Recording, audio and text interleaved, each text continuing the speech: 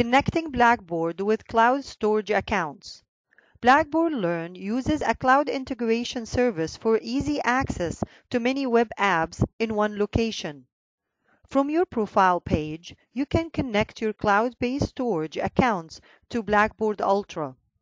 This allows you to upload files easily from your cloud accounts directly into Blackboard. On your profile page, under the Cloud Storage Account section, click Add Account. You can choose whatever service you would like. However, I will demonstrate how to add your UDC OneDrive account. Click OneDrive for Business.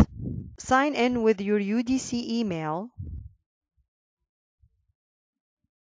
Scroll down and click Accept. Now, your OneDrive account is connected to Blackboard.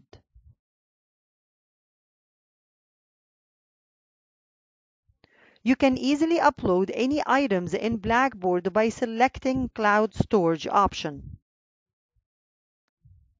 Locate your file on your OneDrive, then click Select.